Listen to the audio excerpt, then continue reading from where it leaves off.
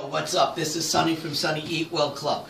What we're going to do here today, we're going to make my version of a grilled chicken salad. You could have this for breakfast, lunch, or dinner. It's going to be great. It's going to get you ripped. You know, I like to do things fast and easy, so this is what I got going. I got my grapeseed oil in here because you know I like it. It doesn't break down to trans fat. I got that heating up. I've got, if you look on some of my previous YouTube shows, some different types of salad dressing, homemade salad dressing. This particular one is red wine vinegar. You can check out on the on the YouTube back shows about how to make that. Okay, I've got, or you can buy local.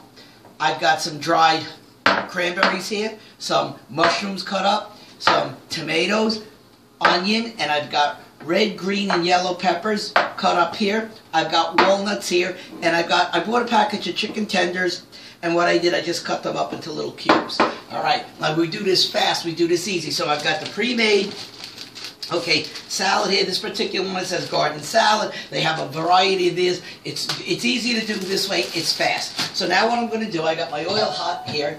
I'm going to take my chicken, okay, and I'm gonna put that right into here like this. And remember when you work with the chicken, wash your hands if you're touching it. That right in the sink. Now, what I'm going to do here is I'm going to take Sonny's original sodium-free salt. We're going to put a little bit of that on there. Everything's to taste.